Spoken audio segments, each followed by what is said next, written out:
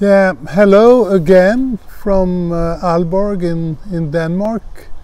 Um, I, I, saw these uh, very nice greetings from students uh, in, in Pretoria, and uh, Roman uh, asked if we perhaps should uh, give a kind of um, response and comment to, to these greetings.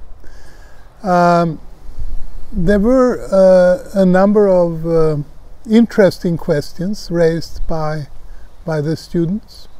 Uh, one of them was about meto methodology, uh, how to uh, what what kind of skills should you have to to study uh, innovation systems, and the first answer is of course that you can have very different kinds. I mean, you can you can be an historian, you can be a historian, you can, in principle, uh, be more oriented to towards uh, sociology, or you can be uh, an economist, or etc. Uh, but the second second part is uh, more specific tools to study uh, different phenomena. One of my major points in in my lecture, in my in the interview, was to say that it's a very good idea to have uh, several skills. If you are specialized in uh, quantitative analysis, it's very good to have some experience and some skill in qualitative analysis. If you are an expert in doing uh, case studies, it's, it's actually a very good idea to have some skills in analyzing quantitative uh, data, material, etc.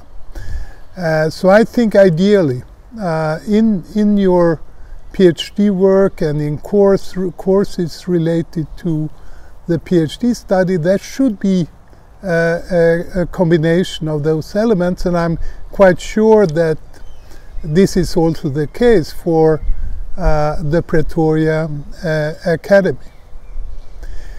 There was another uh, issue which is more theoretical, uh, which I tried to communicate in the interview, which I'm not so sure went completely through. Uh, I made the distinction between uh, uh, innovation systems at different levels, like uh, sectoral systems, regional systems, and national systems. But I also talked quite a lot about what's called technological innovation systems. And the reason why I did that was that I think that in order to understand uh, how national innovation systems uh, uh, work and function uh, and how they perform, how strong they are, etc., I think it's very useful uh, to combine the kind of interactive learning approach uh, which I have been uh, uh promoting and working from uh, with some ideas from the more recent work on technical, technological innovation systems. And what I'm thinking about here is that this framework they are presenting in technological innovation systems is actually quite good for capturing how emerging new technologies can be stimulated and developed, etc. And this is, of course, one important part of what the national innovation system has to do. But it also, uh, in order to get economic impact, which uh, I have been mainly interested in, uh, in terms of economic growth and competitiveness, it's also necessary to have the capacity to absorb the new technologies and to use them uh, widely and efficiently. And here comes the broader definition of the innovation system as related to interactive learning, and it has to do both with use, user produced user interaction and with uh, learning organizations and, and working life.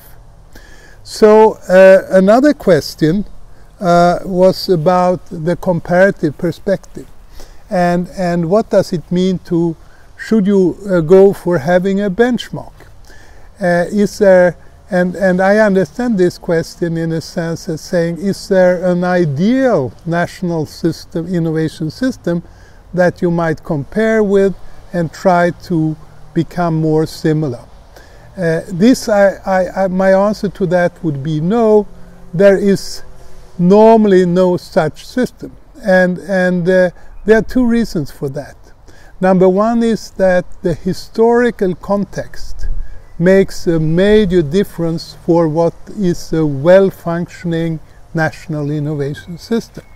We know that in a certain period, England was completely dominating in, an, in, a, in, a, in a later historical period, United States and Germany were quite dominating. And, and then came Japan and so on. And, and, and, and they all had very different national innovation system and they were matching quite well the specific technologies were, which were the most important in their respective successful era. And another side of this is that being very successful in one era might actually become a handicap in a, in a, in a later uh, era. I think the work by uh, Chris Freeman and Carlota Perez on techno-economic paradigms, etc., in, in a long historical perspective is extremely useful to understand uh, this, this uh, uh, historical dynamics. The other side of all this is, of course, that uh, what level of development uh, the system is at. I mean, are we talking about uh, and, and where is it located? Uh, the kind of challenges for a low income uh, country in Africa is quite different from a middle income country uh, such as Brazil in, in, in, in Latin America. So and, and then having said that, uh, comparing is extremely useful. Uh, comparing very similar systems can be extremely useful. I was involved in comparing Sweden and Denmark, and most of you would think they are almost identical. But going very closely to look at how they are different gives inspiration for both finding uh, unique strong aspects and unique weak aspects of the respective system and thereby they can inspire uh, policy. Also comparing very different systems can in principle be, be, give inspiration for a new understanding and also for practical uh, policy issues. Um, I don't know if there were any other substantial questions. There was uh, a mentioning of the question of new indicators. And, and uh, my general uh, message in, in the interview was to say that there is a very close connection between indicators and policy. When you do not have indicators, there is a tendency for policymakers to neglect uh, this field and you focus on stuff where it's easy to measure. This is sometimes called called the lamp post syndrome. I'm sure there's somebody among you who can explain what, well, what why why we use that term. I have illustrated it at some lectures with some people. Uh, so uh, and and then uh, the my next uh, comment and and therefore uh, we have reasonably good indicators for uh, uh, science R&D efforts. we have reasonably well developed indicators in the developed rich countries and, and also in some middle income countries uh, coming from innovation surveys where we can see the share of new products, etc. And we sometimes have uh, data on patents. And, and what characterizes uh, those is that they mainly refer to innovation processes rooted in the science, technology uh, uh, sequence of innovation, while indicators for organizational learning, for activities relating to marketing and connection to customers, etc., uh, what I call DUI learning by doing, using and interacting uh, are much less developed.